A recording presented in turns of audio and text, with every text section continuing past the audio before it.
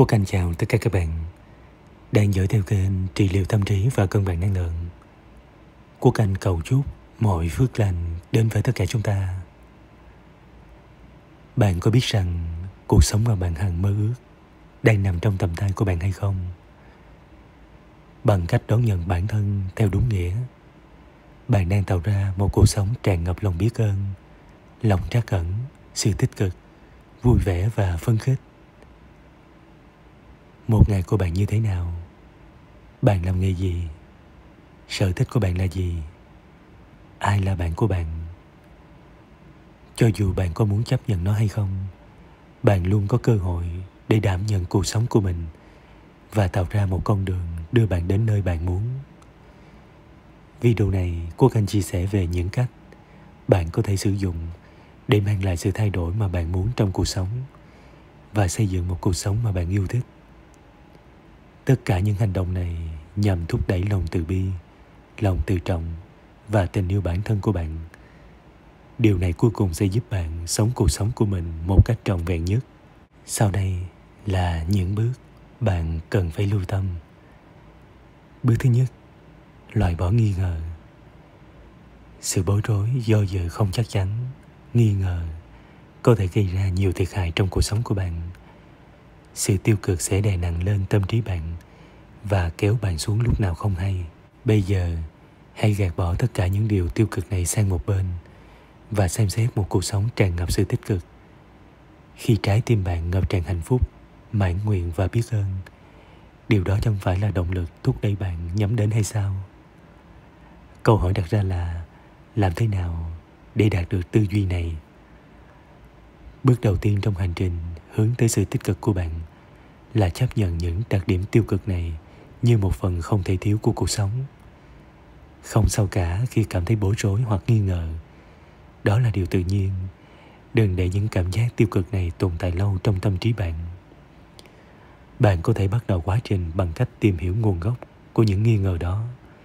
Những nghi ngờ có thể ảnh hưởng và phát triển mạnh trong các khía cạnh đa dạng của cuộc sống tuyệt vời của bạn bạn nên khắc phục việc nghi ngờ bản thân và tự nói chuyện tiêu cực. Bạn nên thực hiện các bước để loại bỏ những nghi ngờ, ăn sâu vào các mối quan hệ của bạn và tàn phá cuộc sống cá nhân của bạn. Thực hiện một chút nội tâm mỗi ngày có thể tiết lộ rất nhiều điều, giúp bạn tự nhận thức về bản thân và đạt được những mong muốn của bạn trong cuộc sống.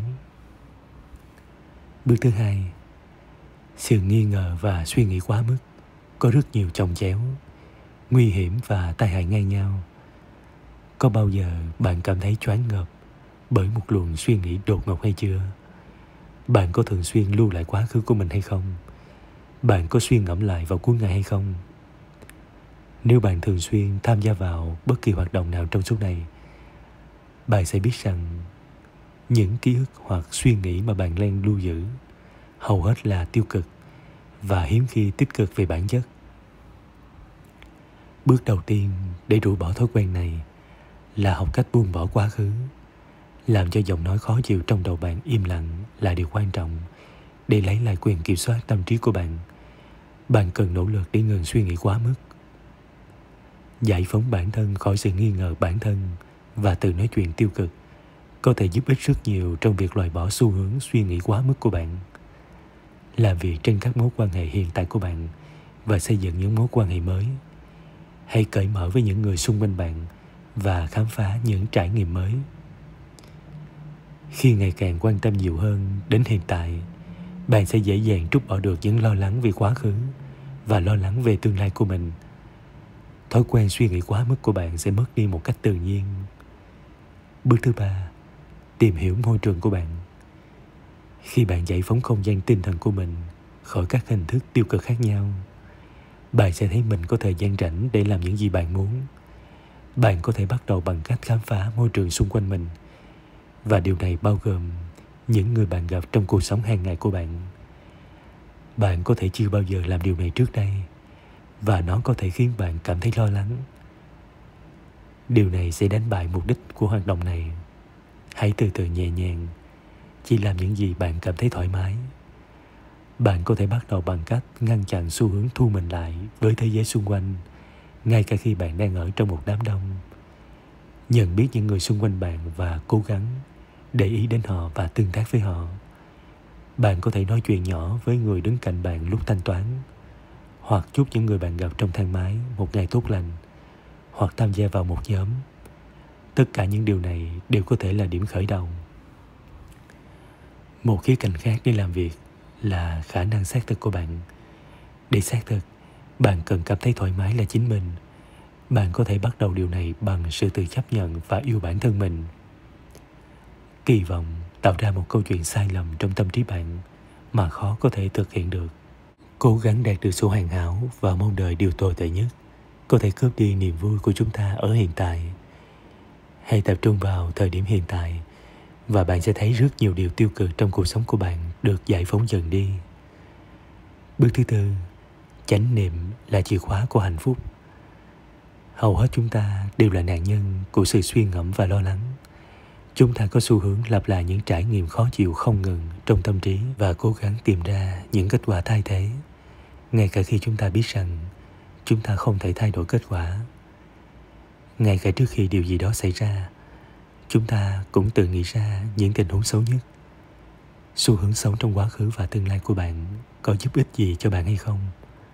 Câu trả lời là không. Chánh niệm là tất cả về việc rèn luyện tâm trí của bạn để ở trong giây phút hiện tại. Nó cũng liên quan đến lòng trắc ẩn, tình yêu bản thân, sự cởi mở. Bạn có thể bắt đầu quá trình này bằng cách chú ý đến năm giác quan của mình thiền chánh niệm được coi là một trong những kỹ thuật hiệu quả nhất để nâng cao chỉ số chánh niệm của bạn bạn có thể thực hành chánh niệm trong mọi hành động bạn làm suốt cả ngày kết hợp nó với lòng trắc ẩn có thể làm nên những điều kỳ diệu trong cuộc sống của bạn mà bạn chưa bao giờ tưởng tượng được. Bước thứ năm, khi tìm hiểu nội tâm, bạn có tìm ra lý do tại sao bạn không thể tiến lên trong cuộc sống và đạt được những gì bạn muốn hay không? Điều gì đã ngăn cản bạn sống một cuộc sống mà bạn yêu thích? Bạn có biết rằng với tư cách là một con người, bộ não của chúng ta luôn cố gắng chống lại sự tiêu cực. Khi có quá nhiều thứ đi vui mừng trong cuộc sống của chúng ta, chúng ta cứ hoài nghi về một trở ngại mà chúng ta đã có hoặc một bất đồng mà chúng ta đã có với ai đó chúng ta phát đi phát lại điều đó như thể chúng ta thích thú với sự tiêu cực có lẽ chúng ta cảm thấy mình có thể rút ra được điều gì đó từ việc cân nhắc về những thất bại của mình. Trừ khi chúng ta quyết định một cách có ý thức để loại bỏ những suy nghĩ và cảm xúc này ra khỏi tâm trí của mình, chúng vẫn cứ ở lại và khiến chúng ta đau khổ. Nỗi sợ hãi, sự oán giận và những mối quan hệ độc hại có thể khiến bạn trở thành nô lệ và tạo ra những rào cản trên con đường của bạn. Bắt đầu thanh lọc tâm trí bằng cách cho phép bản thân buông bỏ. Bước thứ sáu, giữ lấy những điều tốt đẹp khi bạn giải phóng không gian tâm trí của mình khỏi những yếu tố không mong muốn, bạn thấy mình có khả năng tiến lên trong cuộc sống. Bạn có thể cảm thấy bối rối về cách phân biệt điều thiện và điều ác. Một nơi rõ ràng để bắt đầu điều này là viết ra danh sách những điều bạn cho là truyền cảm hứng.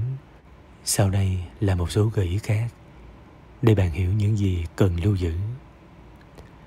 Trong số những thứ bạn muốn giữ lại, giá trị và kỷ niệm hạnh phúc của bạn đứng đầu danh sách tính độc đáo, danh tiếng, sự sáng chói, công lao, tâm hồn và khả năng theo đuổi mục đích của bạn là tất cả những yếu tố tích cực mà bạn nên bám vào.